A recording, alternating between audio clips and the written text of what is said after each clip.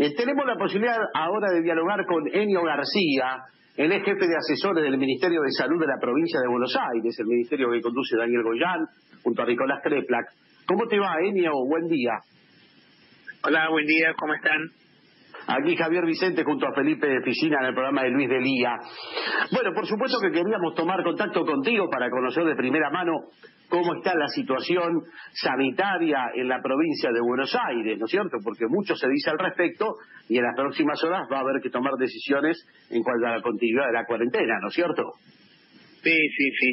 Sí, la, yo creo que en términos generales en el país no estamos atravesando el peor momento de la pandemia, han aumentado los, brotes también eh, en otras provincias, uno ve la, la situación de Jujuy que desafortunadamente en poco tiempo eh, entró en una situación de colapso del sistema, ¿no? Y eh, justamente lo que se vino tratando de hacer en, en, en varias provincias de Argentina, con una, una conducción de gobierno nacional, eh, y bueno, en la provincia de Buenos Aires lo venimos haciendo, es eh, evitar ese colapso, ¿no? Como tratar de que eh, los casos no se acumulen todos dentro de un periodo corto de tiempo eh, y poder tener así una eh, la posibilidad de que el sistema siga resistiendo, tener el tiempo para aprender, para eh, ampliar las camas de cuidados intensivos, ¿no? Eso es el contexto general. Igual dentro de ese contexto estamos en un promedio de 5.000 casos más o menos por día eh, en la provincia de Buenos Aires, eh, con una ocupación de camas en la zona del conurbano de camas de cuidados intensivos que ya está en el 64%, ¿no? Entonces es una situación que nos preocupa porque eh, los casos van subiendo, eh, hay una tendencia a esa suba de casos, no no hay ninguna tendencia, no hay ningún dato que nos indican eh, que eso llegó al pico y que empieza a bajar, todo lo contrario. Entonces, nada, estamos preocupados, eh, analizando día a día eh, y semana a semana pasando la información eh, a las autoridades políticas para que, que se tomen las decisiones correspondientes. Claro, claro, vos describís bien, la situación realmente es preocupante, o sea que no habría lugar como para una flexibilización mayor. En ese sentido, tal vez sea difícil compatibilizar los intereses de la ciudad con, con la provincia, pero el AMBA es uno solo, ¿no es cierto, Benio? No, eso es así, eso es así. El AMBA es una, una, una zona eh, común, no no no hay fronteras, por más controles que uno ponga de un lado eh, para, para el pase de un lado del otro de la General Paz.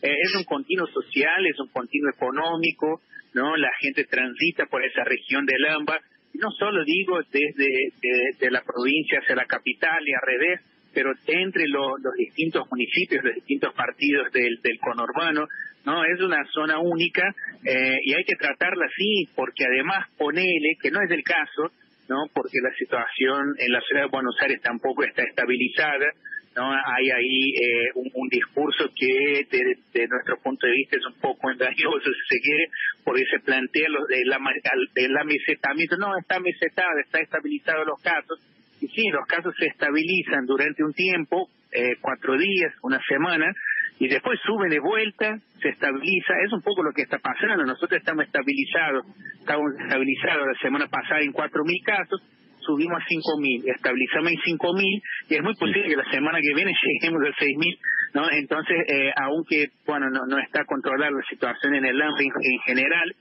yo decía que la ocupación de camas en el conurbano está en 64%, en la capital está en 75%, es una situación más crítica todavía, pero digo, ponele que en capital estabiliza y eso no, sigue aumentando eh, si, llega a colapsar el sistema en, la provincia de Buenos Aires, ¿dónde crees que va a atender la gente? No se va a morir en la calle, va a buscar los hospitales también de, la ciudad.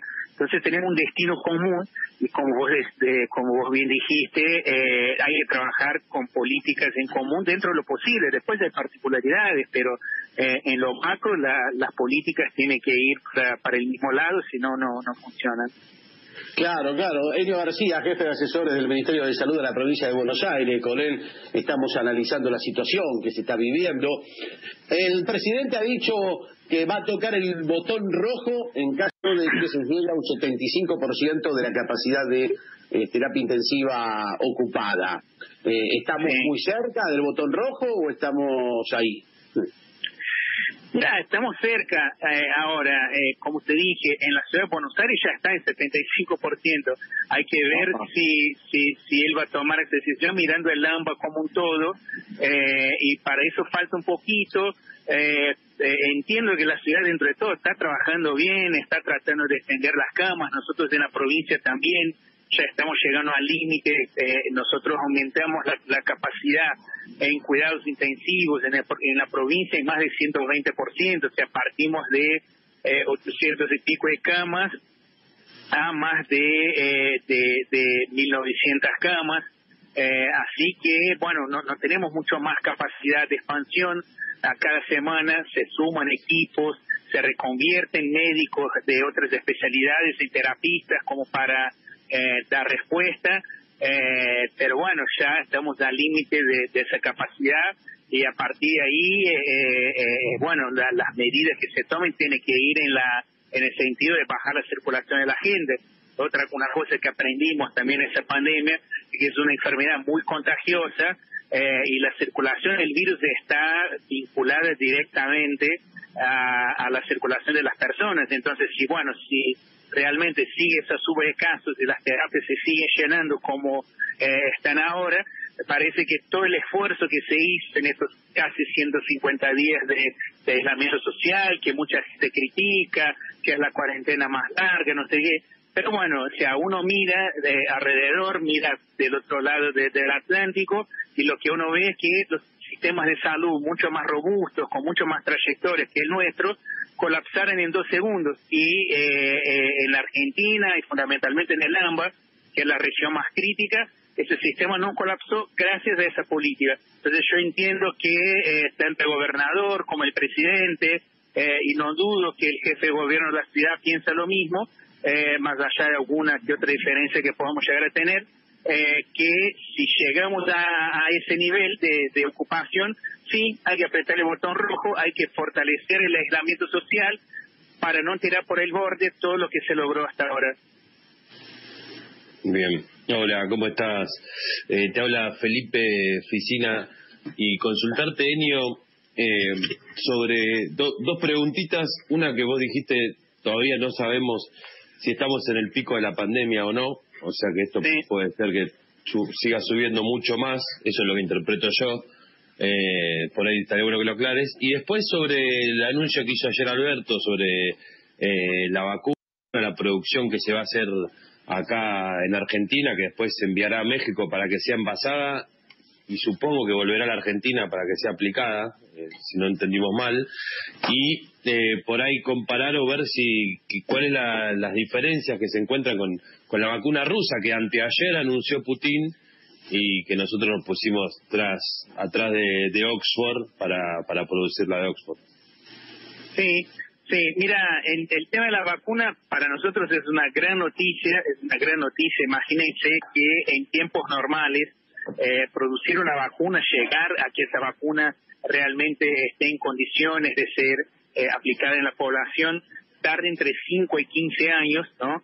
Entonces, bueno, la situación atípica que estamos viviendo eh, en función de esa pandemia, eh, nos trae un montón de efectos eh, que, que no nos gusta, eh, ¿no? que, que, son malos para poner de una manera eh, simple, eh, pero también tiene esa cuestión de que eh, es atípico también en otras cosas como esto de el desarrollo de vacunas, la búsqueda de tratamientos, ¿no? Entonces, eh, la verdad que muy buena noticia que eh, no solo eh, Rusia, sino que, bueno, otros países han logrado llegar a un desarrollo.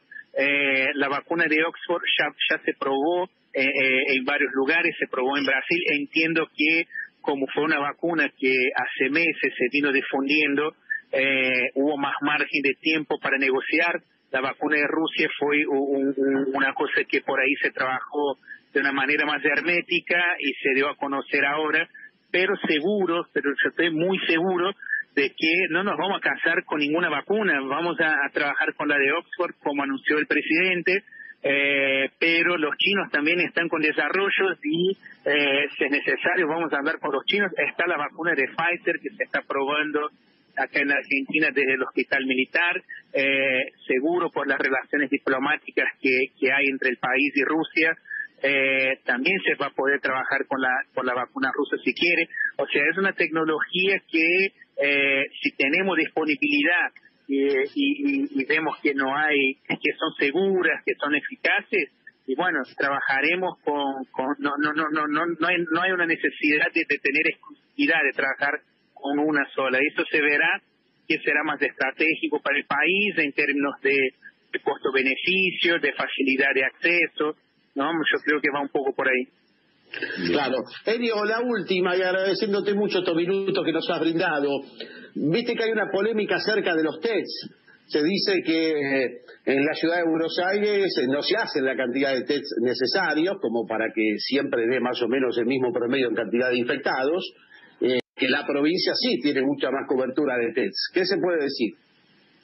Mira, uno lo que ve es que la ciudad tiene planchada en, eh, entre 2.000, 2.200, 2.600 test por día eh, que se hace a las personas que, residen en la capital, ¿no? Eh, la provincia viene expandiendo esa cantidad de testeos, eh, llegamos ahora a 10.000 testeos por día, o sea, cerca de cinco veces más de lo que de lo que está haciendo capital. Bueno, no, no es, muy difícil, eh, es polémico cuando uno empieza a comparar, ¿no? La gente toma como, ah, bueno, pero está haciendo una grieta, está criticando. Y en realidad, o sea, cuando uno hace análisis epidemiológico, compara, es, es parte de la metodología, ¿no? Eh, eh, de la epidemiología. Ahora, eh, qué sé yo, no, no digo que Capital esté trabajando mal, a nosotros nos cuesta un montón, nos costó un montón llegar a esos 10.000 test por día, nos cuesta no solo, no estoy hablando en términos económicos, que sí es caro, cada test de ese sale cerca de 30 dólares, eh, pero, pero costoso en términos de conseguir los laboratorios, de conseguir los equipos, de conseguir los profesionales para trabajar. Nunca se hizo tantos test eh, eh, en la historia en la Argentina. Imagínense que la provincia de Buenos Aires, la mitad de los test que se hacen en todo el país se hace en la provincia de Buenos Aires. la provincia de Buenos Aires no es la mitad del país, entonces ahí uno ya se da cuenta y además la mayoría de estos test están concentrados en el conurbano, que es donde vive cerca de 7 millones de personas. Entonces estamos haciendo 10.000 test por día con una población de 7 millones de, personas. O sea, es una, es una locura lo que se está haciendo. Eh, hay una cuestión ahí, hay un fetiche muy grande que se generó por el tema de los testeos. Entró como en la agenda que la pandemia se combate con test. Eso no es así. El test es una tecnología asesoria al diagnóstico que en determinado momento de la pandemia tiene una importancia, una relevancia más grande, en otras tiene una menor. Por eso digo que eh, no me inquieta y no, no, me, no me parece crítico que la ciudad de Buenos Aires eh, hagan eh, menos test que nosotros, porque en la, en, en la situación que estamos de la pandemia, lo más importante ahora es la conducta que se toma, ¿no? De, más allá de tener el test positivo o no, si la persona tiene los síntomas compatibles, de aislar a esa persona, de buscar eh, aislar los contactos eh, estrechos que tiene esa persona. Con eso es suficiente, eso es lo que va eh, de alguna manera ayudar el control de la pandemia. No se dice más o menos test. Pero bueno, instaló esa discusión y me parece que generó mucha confusión. y, ya que me preguntaste, me, me pareció oportuno aclararlo. Muy bueno, Enio. Muchas gracias, eh, Enio García, jefe de asesores del Ministerio de Salud de la provincia de Buenos Aires. Gracias. Un abrazo.